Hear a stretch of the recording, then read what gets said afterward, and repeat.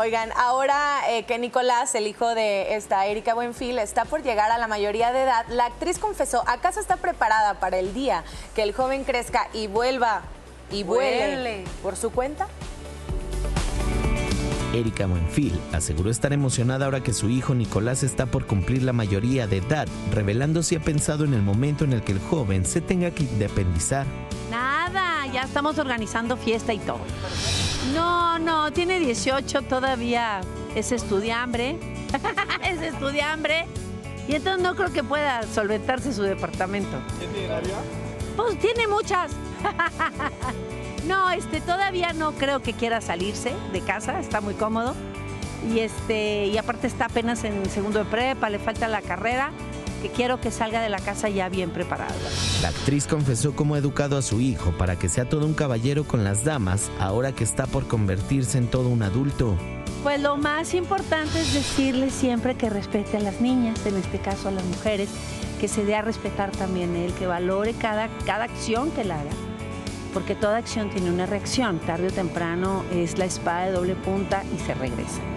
Entonces yo he sido muy fuerte con él, a pesar de que lo tengo consentido, sí, ¿por qué no? Pero soy muy fuerte y he tratado de, de educarlo de la mejor manera. Los papás siempre decimos que estamos dando lo mejor. No hay un manual. Cada hijo te enseña a ser papá o mamá y nosotros los enseñamos a ser hijos y vamos de la mano. Pero es un muchachito muy decente, muy bueno, muy con un carácter de, ver- de verdad este, mucho más tranquilo que yo. Finalmente, Buenfil fue tajante cuando se le cuestionó si está preparada para dejar volar a su hijo.